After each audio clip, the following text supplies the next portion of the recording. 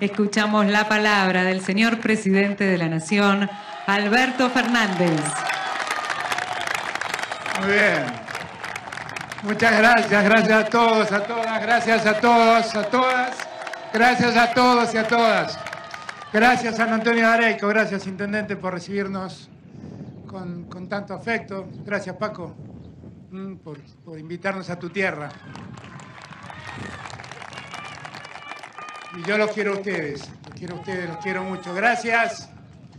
Gracias al gobernador de Mendoza, al gobernador de La Rioja, al gobernador de Santiago del Estero, al gobernador de Misiones. Gracias Axel por estar aquí.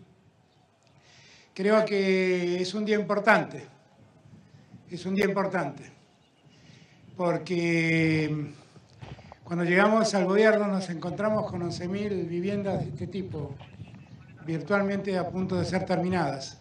Inexplicablemente no concluidas nunca. Dejaron de construirlas en el año 2015 cuando llegaron al gobierno y por razones que uno no logra entender. No logra entender, no sabe si son razones ideológicas, cuestiones políticas, inoperancia, maldad.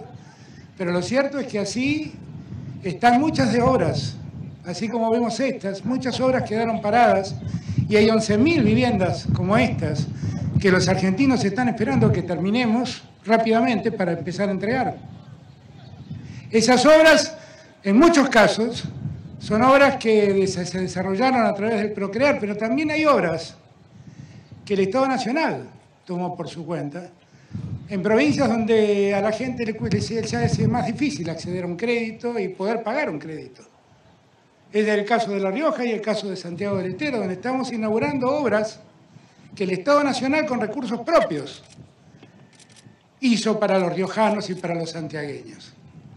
Y denme un permisito, que es mandarle un abrazo muy grandote a mi querido amigo Quintela, al intendente de Chilecito, que me hace feliz que allí en Chilecito estén esas casas hechas, porque bien decían todos ellos que para mí son un, recuerdo permanente. Allí, en Chilecito, nació mi padre. Feliz de que Chilecito tenga esas casas. Muy feliz. Mi padre, además, como buen riojano, quería pasar el verano a La Rioja y nos condenaba a calores terribles. Pero uno, a pesar de todo eso, disfrutó del río Miranda, de ver el Famatín nevado, de Samaguasi, de todo lo lindo que tiene Chilecito y toda La Rioja. Por eso celebro que allí donde los argentinos no pueden llegar porque no tienen un crédito y no pueden acceder a un crédito y no pueden pagarlo, supo estar el Estado porque esas obras también se empezaron antes del 2015 y también quedaron abandonadas durante cuatro años.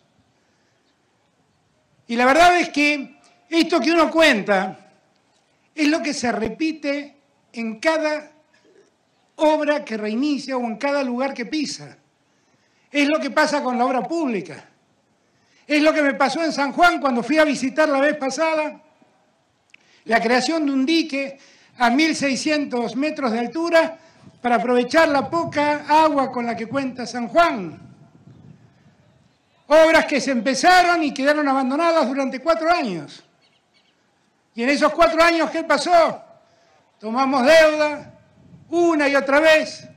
Los pícaros compraron dólares una y otra vez. Se los llevaron fuera del país una y otra vez. Y otra vez tenemos que llegar nosotros a poner orden a todo eso.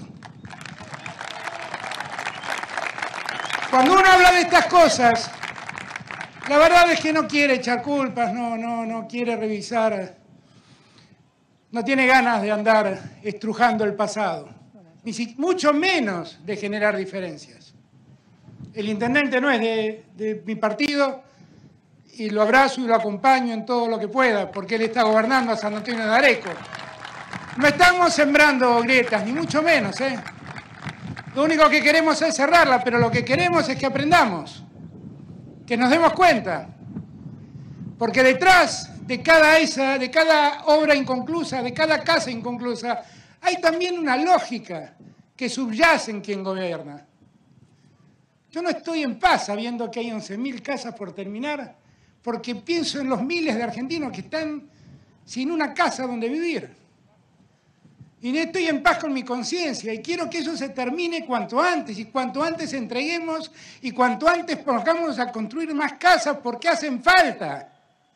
Y este tipo de casas, porque no es darle un techo a la gente, es darle un lugar digno donde vivir, donde sus hijos puedan crecer, lugares seguros.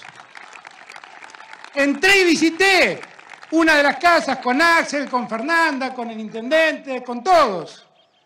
Y estos lugares son lugares vivibles, no son soluciones de emergencia, son lugares dignos, son lugares lindos. Es grato asomarse a los balcones y disfrutar de las casas estas. Y es eso lo que tenemos que hacer, porque hay millones de argentinos que aún esperan un auxilio del Estado para poder acceder a la casa propia. Y tener un techo hoy en día es parte de la condición humana. ¿eh? Es un derecho que hace en esencia de la condición humana. Simplemente. Simplemente. Así que hoy estoy muy feliz. Muy feliz porque en Mendoza hay mendocinos, allí en Maipú, que están entrando a sus casas mi saludo grande al gobernador, un beso grande a Anabel, un beso, un abrazo enorme, mi querido compañero intendente de Maipú. Mi respeto y mi saludo a la senadora nacional. Allá en Santiago del Estero hay santiagueños que están entrando a sus casas con un trabajo enorme que hace ese gobernador y amigo querido Gerardo Zamora y que juntos podemos trabajar para lograr estos objetivos. Ya hablé de La Rioja y de Chilecito y de lo que todo eso entraña. Y hay también misioneros que hoy entran a sus casas y pueden disfrutar del resultado de la ayuda y del apoyo del Estado. Y nada de eso me avergüenza. A mí que el Estado vaya en auxilio de los que producen y de los que trabajan no me avergüenza. A mí lo que me avergüenza es que el Estado le dé vía libre a los pícaros para especular, para romper el trabajo, para destruir el crecimiento y para especular y ganar ellos solos. Eso sí me, da vergüenza. Ayer escuchaba a alguien decir, eh, el jefe de gabinete dijo 19 veces macrista. Yo no me ofendo que me llamen peronista, llámenme toda la vida peronista, que para mí es un orgullo. Así que lo que creo es que debemos más que nunca, unirnos. Ayer lo comentaba en Entre Ríos. Somos una generación que ha vivido algo que ninguna otra generación ha vivido. Se llama pandemia. Nuestros abuelos, nuestros padres no nos enseñaron de qué se trataba. Y tenemos que experimentar sobre la marcha, ver cómo crecer, cómo avanzar. Y a nosotros no nos ha detenido nada. Sabíamos sabemos, y nadie nos va a hacer cambiar de opinión, que lo primero que tenemos que cuidar es la salud de los argentinos. Y vamos a seguir trabajando codo a codo en el peor momento, que es este, donde la pandemia empezó a aflojar un poco en el área metropolitana de Buenos Aires y se empezó a meter en el interior del país. Y allí es donde uno se da cuenta también cómo la infraestructura se fue olvidando en el interior del país, porque no se hicieron hospitales, porque faltan terapistas, porque faltan médicos, porque faltan enfermeros y enfermeras. Eso es lo que pasa cuando el Estado se ausenta. Pero nosotros, frente a esta crisis, hacemos lo que solo sabemos hacer. Nos arremangamos, nos ponemos de pie y vamos con mucha fuerza a pelear contra lo que nos toca. Y lo que nos toca ahora es poner de pie a la Argentina, reconstruirla de una vez y para siempre. Y en todo caso no olvidar, nunca más olvidar, que no todo es lo mismo, que hay algunos que llegamos al gobierno para hacer felices a la gente y que creemos que este es un país, la Argentina, que no tiene un país central y periferias, es una Argentina y que todos los argentinos en cualquier latitud tienen el mismo derecho. Y los que creemos eso, Nunca pensamos que en la Argentina sobran argentinos. Y los que creemos eso, hacemos políticas para abrazar y amparar a todos los argentinos y a todas las argentinas. Y los que creemos eso, en esta hora, vinimos para cuidar la salud de los argentinos. Y vamos a poner de pie a la Argentina, con más producción y con más trabajo. Esa será nuestra victoria, compañeros. Gracias, San Antonio de Areca. Gracias, querido intendente. Los abrazo y lo mejor para todos. Gracias.